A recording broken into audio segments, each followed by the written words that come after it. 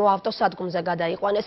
მძღოლები კი რაიონულ პოლიციაში წაიყვანეს. ერთ-ერთი მძღოლი დროებითი დაკავების იზოლატორში ამ დრომდე რჩება, დანარჩენები კი უკვე გაათავისუფლეს. სამართალდამცავთა განმარტებით ავტომობილები დაუმორჩილებლობის გამო გააჩერეს, თუმცა საპირისპიროს ყვებიან ქართული ოცნების აქტივისტები.